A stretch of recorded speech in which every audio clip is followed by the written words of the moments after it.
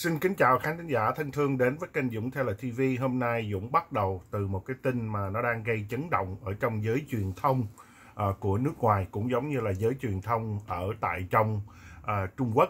Uh, ngày uh, sáng ngày 19 thì ở bên uh, Bộ Ngoại giao của Trung Quốc vừa mới đưa ra một cái uh, lệnh là họ tuyên bố họ sẽ tước đi cái quyền uh, phóng viên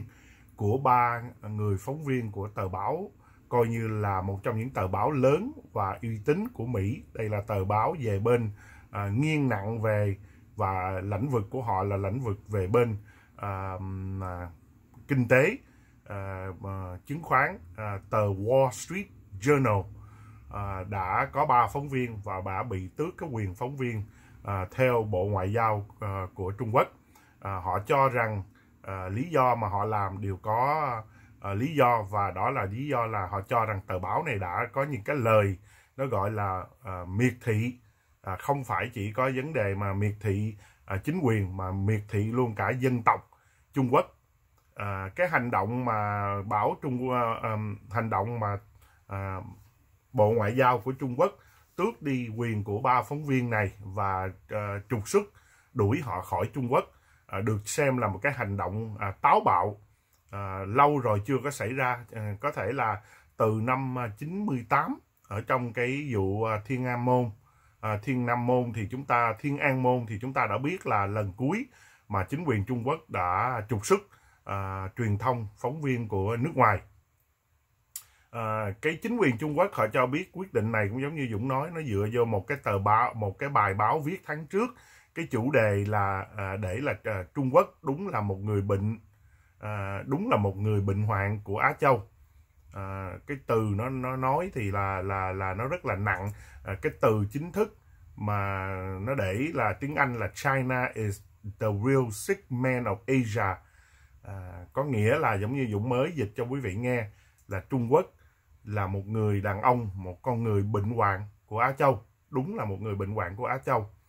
À, thì cái à, cái nội dung của cái bài báo là nó lên án chính quyền Trung Quốc chậm trễ ở trong cái việc thông tin. À, và một phần nào nó cũng lên án nó nói là bưng bít một số thông tin. Cũng giống như là tờ báo à, trong cái bài viết nó cũng đưa ra những cái giả định là cái nạn dịch corona này sẽ làm ảnh hưởng đến kinh tế của Trung Quốc và bộ máy của à, bộ chính trị của Bắc Kinh. À, thì à, cái quyết định này nó đã được à, lên án bởi à, cái nó gọi là cái um, câu lạc bộ truyền thông nước ngoài à, có văn phòng tại à, Trung Quốc à, gọi tắt là FCCC là Foreign Correspondent Club of China. Đây là câu lạc bộ truyền thông nước ngoài à, có văn phòng tại à, Trung Quốc. Họ đã lên à, tiếng và họ cho rằng đây là một cái quyết định sai lầm à, và một cái quyết định này một lần nữa khẳng định cho thấy là chính quyền Trung Quốc là chính quyền à, độc quyền, độc tài và trả đũa những cái uh, những cái tiếng nói mà trái chiều. Uh, đây là cái hội mà được thành lập bởi uh, rất nhiều phóng viên, hàng trăm uh, phóng viên ở tại Trung Quốc và phóng viên của nước ngoài nằm ở trong cái hội FCCC này. Uh, họ nói là chúng tôi vô cùng thất vọng và cái quyết định này của Bắc Kinh uh, làm cho chúng tôi rất quan ngại. Chúng tôi nghĩ rằng hơn 20 năm Trung Quốc đã uh, bước một bước tới cái phía bên uh, hướng về cái phía mà tự do ngôn luận hoặc tôn trọng nhân quyền nhưng cái quyết định này của Trung Quốc coi như là đã ba bước bước lùi à, về trong cái lĩnh vực này và cái hội FCCC này họ cho rằng à, quyết định đuổi ba việc phóng viên này giống như Dũng nói là khẳng định cho quốc tế thấy là à, Trung Quốc luôn là đàn áp và trả đũa với những cái thông tin trái chiều. À, nhiều hội viên của câu lạc bộ FCCC à, à, mấy tuần qua cũng đã bày tỏ là họ gặp rất nhiều sự áp lực kiểm soát à, thậm chí luôn cả vấn đề dọa nạt từ chính quyền Bắc Kinh. À, theo lời phát ngôn viên của câu lạc bộ FCCC à, quyết định rút giấy hành nghề của ba vị phóng viên nước ngoài là một trong những cái ờ, bước mà nói là nằm trong chiến chính sách kiểm duyệt và siết chặt thông tin liên quan tới dịch corona lần này. À, và à, lần cuối mà Dũng nói là khoảng hơn năm 1998 là khoảng 22 năm trước rồi một sự việc này nó đang xảy ra thì đây là cái ngày hôm nay. Chủ đề thì Dũng thấy là à, báo nào à, truyền thông nào cũng đưa về cái thông tin này. Nó là một cái thông tin mà à, thật sự là rất rất à, quan ngại. Một cái thông tin mà đầu ngày á, thì chúng ta thấy là chủ tịch à, Tập Cận Bình à, ở trong cái cuộc à, điện đàm ngày hôm qua với lại à, thủ tướng của Anh Quốc ông Johnson. À, ông Tập Cận Bình có chia sẻ nói rằng à, cái cuộc chiến với lại Corona nó có một cái bước tiến rõ rệt. À, ông chỉ nói như vậy à, và ngày hôm nay thì chúng ta thấy là con số thống kê đưa ra là trong vòng 3 tuần là đây là lần đầu tiên mà chúng ta thấy là cái con số mà ca nhiễm à, dưới 400 con số tử vong thì cũng là 110 mấy nó trung bình là cứ mỗi ngày là cái con số tử vong ca tử vong là từ 100 cho tới 120 bữa nào mà chúng ta thấy nó dưới 100 thì chúng ta cho là cái đó là một cái bước tiến tốt hoặc là nó trên 120 thì chúng ta thấy nó nó ra khỏi cái à, số lượng bình thường. Nhưng ngày hôm nay thì à, cái số lượng ca nhiễm nó đã còn ở dưới mức dưới 400 thì quý vị nhìn vào à, hôm trước thì nó nhảy vọt lên tới 15 ngàn à, trong vòng một ngày thì mọi người cũng quan mang. Và hôm nay thì nó xuống dưới 400 thì mọi người cũng nói ủa tại sao mà có thể thay đổi à, một cách kêu là là là làm à, à trên lệch như vậy? Thì à, hôm nay thì à, Dũng cũng à, gửi đến cho quý vị thông tin hơi trễ. Tại Dũng à, cũng đi tìm hiểu tại sao mà chỉ có 394 ca nhiễm trong ngày hôm nay so với lại ngày trước đó là 1.749 ca nhiễm thì à, cho thấy là chính quyền Trung Quốc bên Bộ Y tế à, của Trung Quốc cũng thay đổi cái cách họ xét và họ liệt vào ca nào là ca nhiễm. Ở lúc trước thì họ cho là những cái ca mà họ à,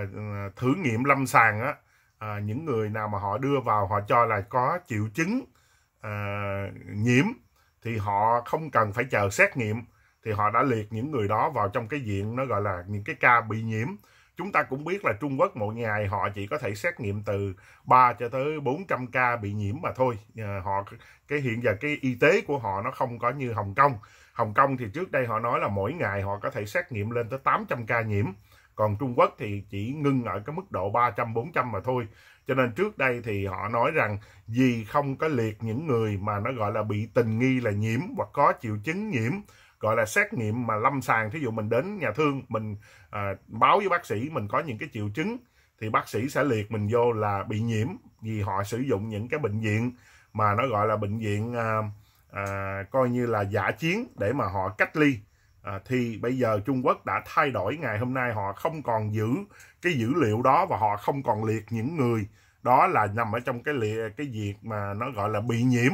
à, mà nó gọi là tình nghi thôi cho nên thành ra chúng ta cũng thấy là số lượng ca nhiễm nó giảm xuống. Có nghĩa là họ chỉ dùng cái con số à, của những người đã được xét nghiệm và kết quả đã được báo về là dương tính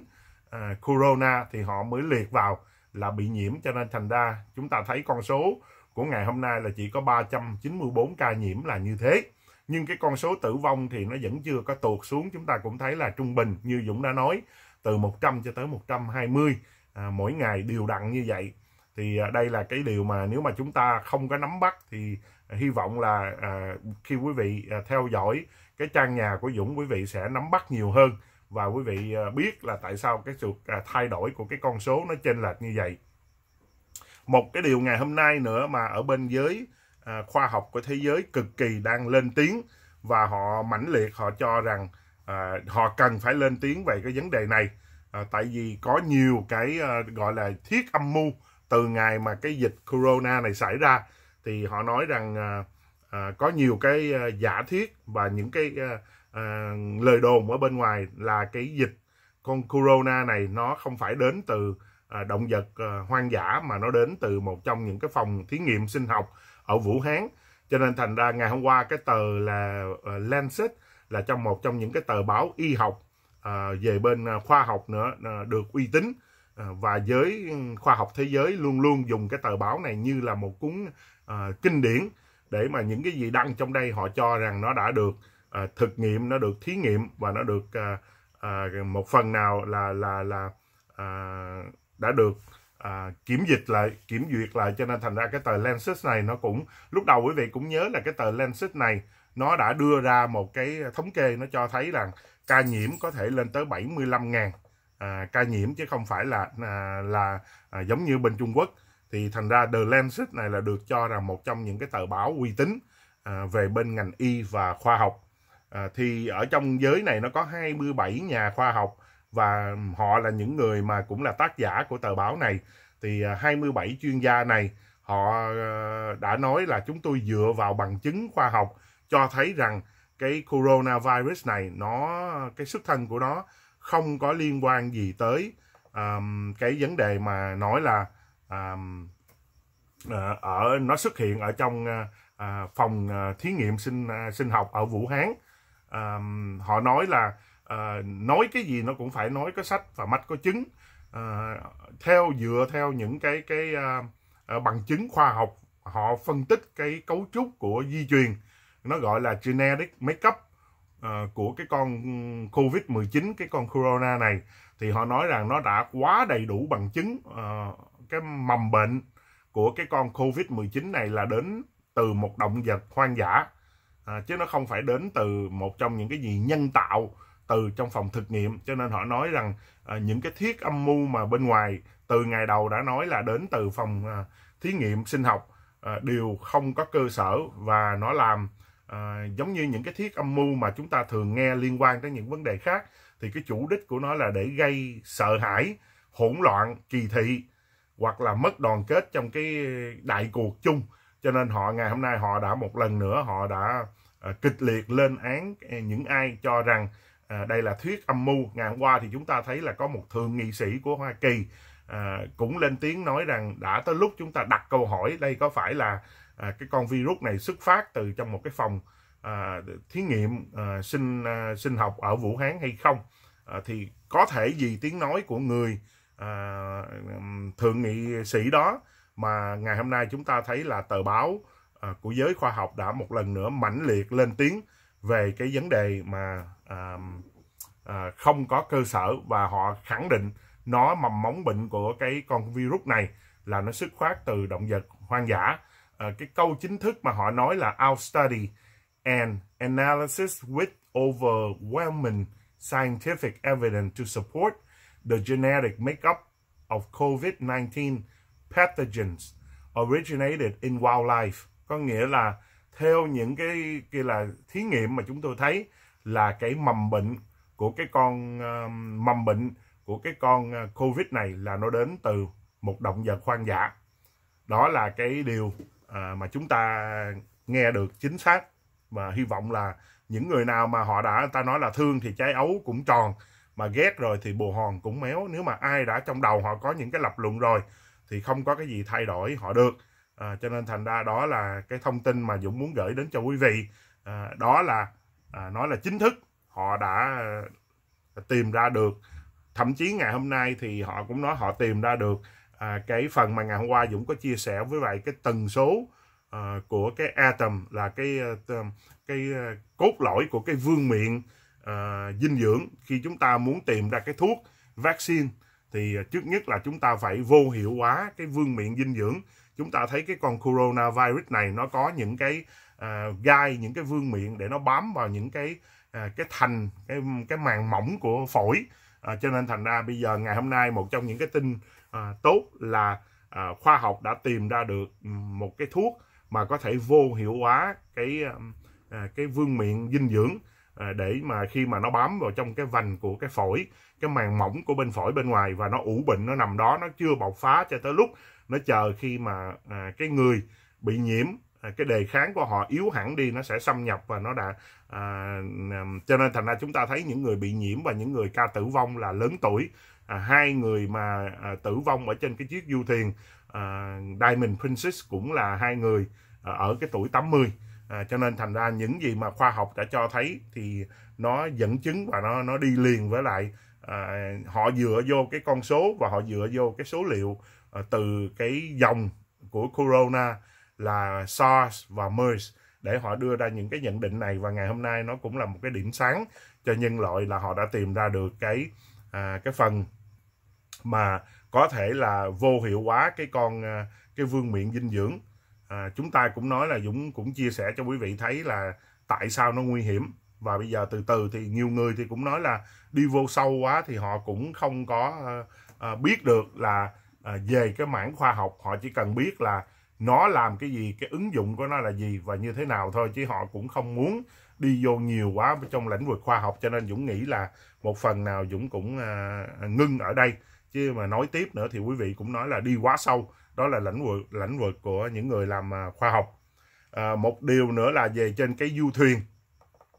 À, hôm nay Dũng muốn mổ xẻ chút đỉnh à, về trên cái du thuyền để cho quý vị thấy rồi quý vị nắm bắt thêm à, cái Diamond Princess cái chiều dài của cái chiếc du thuyền này. À, quý vị cũng thấy là nó à, chiều dài của nó là 290 thước coi như nó bằng chiều dài của ba sân bóng đá à, chiều cao của nó là 62 thước và nó có tổng cộng là 18 tầng. Ở trong đó nó có 1.337 cái ờ, phòng ngủ.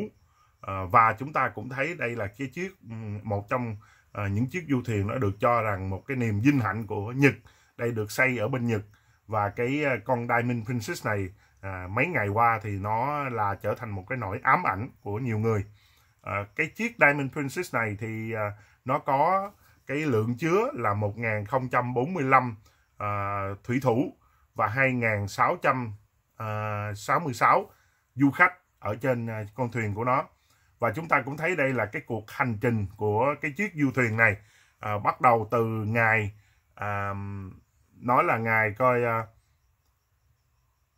à, nó rời rời cảng Yokohama là ngày 20 tây tháng 1 à, ở bên Nhật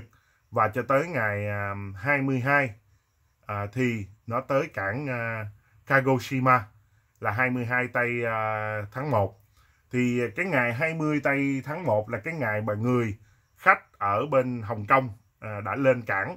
À, ông bay từ Hồng Kông qua tới Yokohama và lên tàu lên cập cảng ở đó. Và tới ngày 25 là ông đã 25 tây tháng 1 là ông đã rời cái chiếc du thuyền này ở tại cảng Hồng Kông và sau đó thì những người hành khách mới mới lên uh, du thuyền và để rời đi một cái chuyến mới là từ à, Hồng Kông họ rời cảng và họ đi à, ngày một tây uh, nhiều người khách đã ở tại ở trong cái chiếc tàu này đã bị uh, cái người khách mà rời xuống cái cảng ngày 25 tây ở Hồng Kông đó thì khi mà về tới Hồng Kông ông đã đi uh, ông có những cái triệu chứng uh, nhiễm cái con corona này. Và sau khi xét nghiệm thì ngày 1 tây tháng 2 à, đã có cái xét nghiệm cho thấy là ông đã bị à, dương tính. Thì lúc đó là chiếc du thuyền này nó sau khi nó cho hành khách à, xuống ở Hồng Kông và đưa hành khách mới từ Hồng Kông thì nó đã ngày 27 nó tới à, Việt Nam tới cảng uh, Chiang Mai Việt Nam. Và ngày 28 tây tháng 1 thì nó đến cảng Cái Ráng của Việt Nam. Thì chúng ta thấy là hai ngày tại sao ở trên cái du thuyền mà khi chúng ta thấy có người rời du thuyền à, có những à, hành khách ngày hôm qua à, có nón lá rồi là những đây là những cái vật mà à, lưu niệm họ đã mua à, ở Việt Nam. Khi mà hai ngày mà 27 28 mà những người khách này có mặt ở trên à, cái chiếc du thuyền này. Và tới ngày 31 tây tháng 1 thì chiếc du thuyền này nó đến Đài Loan. Và ngày 1 tây tháng 2 nó trở về Okinawa ở bên Nhật. Và ngày 4 tây tháng 4 à 4 à, tây tháng 2 nó về nó trở về cảng Yokohama thì cái ngày đó chuẩn bị mà mọi người xuống thuyền ở Yokohama là chính là cái ngày mà chiếc thuyền bị uh, cách ly vì nó khám phá ra có 10 người ở trên du thuyền có triệu chứng. À, cho nên thành ra chiếc thuyền nó đã bị cách ly và bắt đầu từ đó là một cái cuộc hành trình dài. Và sau ngày hôm sau là ngày 5 tây tháng 2 đã có 10 người bị bị dương tính và sau đó là cuộc hành trình cách ly 2 tuần bắt đầu với lại cái chiếc uh, Diamond Princess này và ngày hôm qua là ngày 19 tây tháng 2 sau 2 tuần thì à, những hành khách đã được đưa xuống à, khỏi tàu và chúng ta cũng thấy là sau 2 tuần thì từ 10 ca nhiễm nó đã lên tới 624 ca nhiễm và hoa, lý do mà Hoa Kỳ đưa ra à, cái cái quyết định để mà đưa người của họ rời khỏi cái du thuyền để mà về bên Mỹ để cách ly ở dưới đất liền. Chúng ta cũng thấy những công dân có mặt ở trên du thuyền phần lớn là à, công dân Mỹ, công dân Ý, à, Hồng Kông, Canada và người Úc